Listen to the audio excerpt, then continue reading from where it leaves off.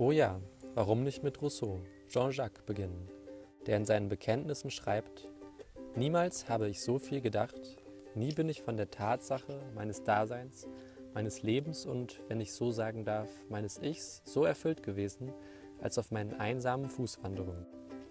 Das Gehen hat etwas, was meinen Gedanken erregt und belebt.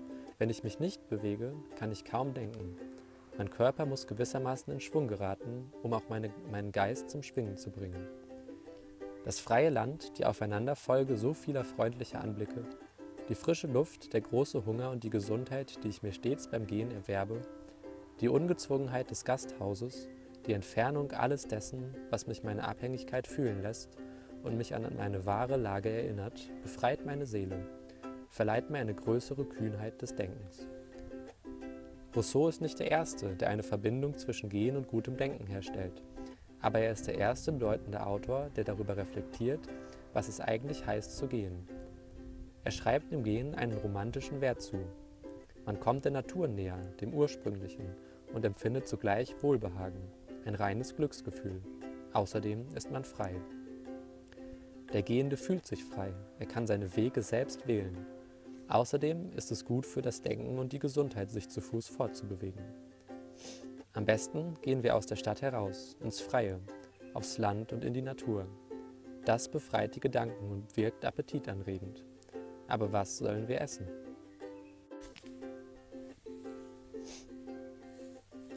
Sören Kierkegaard schrieb, vor allem verliere nie die Lust zu gehen.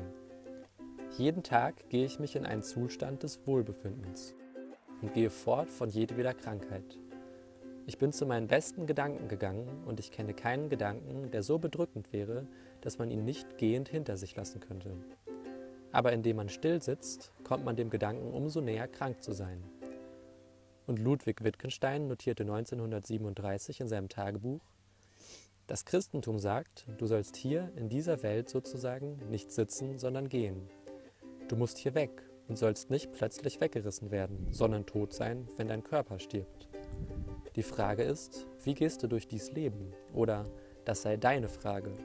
Denn meine Arbeit zum Beispiel ist ja nur ein Sitzen in der Welt. Ich aber soll gehen und nicht bloß sitzen. Schon Aristoteles griff eine griechische Tradition auf, die Denken und Gehen vereinte. Aristoteles ging und dozierte in den Säulengängen im Lykäum.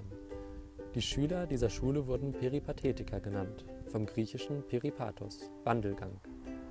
Die Sophisten gingen von Stadt zu Stadt und lehrten Rhetorik. Wir wissen von den Spaziergängen eines Sokrates.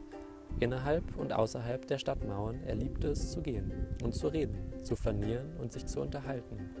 Doch wenn er wirklich in Gedanken versank, hielt er inne. Manchmal blieb er lange stehen, Einmal rührte er sich eine ganze Nacht nicht von der Stelle. Die Stoiker erhielten ihren Namen nach einem Säulengang in Athen, die Stoa, ein Gehweg, auf dem sie promenierten und diskutierten. Die Verbindung von Denken und Gehen wurde also von der Philosophie etabliert. Immanuel Kant machte täglich nach dem Mittagessen einen Spaziergang durch Königsberg. Wir erinnern uns an Nietzsches Aussage, er setze wenig Vertrauen in die eigenen Gedanken, wenn sie nicht an frischer Luft auf einem Spaziergang gedacht worden seien. Doch auch die Dichter gingen und schrieben über das Gehen. Mit Bruce Chatwin ist das Gehen zu einer Arbeit geworden, denke ich. Es erfordert keine Bewerbung, keine Zeugnisse, man macht sich einfach auf den Weg. Zur Tür hinaus, jederzeit geradeaus, in irgendeine Richtung, die offene Straße hinab, auf zwei langsamen Füßen, so einfach kann es doch nicht sein. Oh nein. Lasst mich von meinem ersten Zusammenbruch erzählen.